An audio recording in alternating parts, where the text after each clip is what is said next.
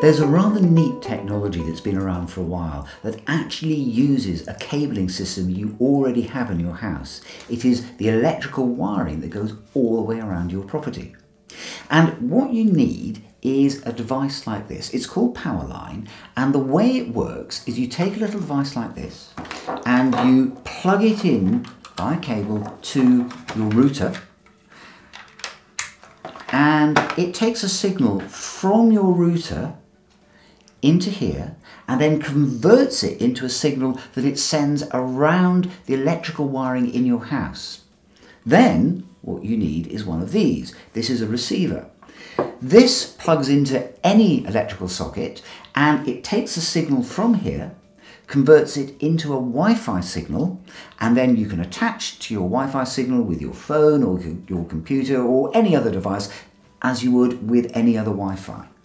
It's very flexible because you can have as many of these as you want. You can always add one to your system if you find it's not working for you. You can also rearrange it. You can put new ones in, put different ones in around your house. So it's a very good way of trying to get your Wi-Fi to wherever you want. I actually have one that I go out of my shed with. It's not perfect, I don't get a brilliant signal, but it's a huge improvement on having nothing at all. Now, there are a couple of little drawbacks with it. First of all, you are never going to get the full speed that your internet service provider says you're going to get.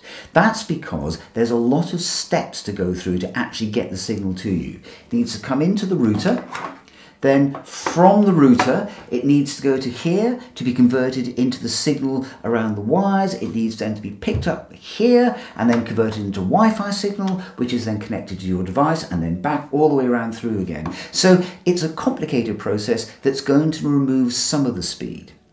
The second thing is the further this is away from this, the signal will start to drop off.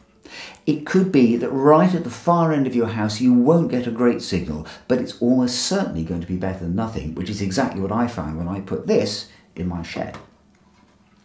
They're all called Powerline. There's a whole variety of different ones to choose from. They may have subtly different names, but they all work in the same way.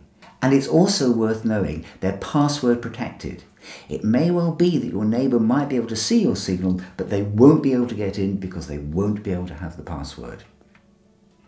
There is another way of getting your Wi-Fi signal around your house, something called mesh Wi-Fi.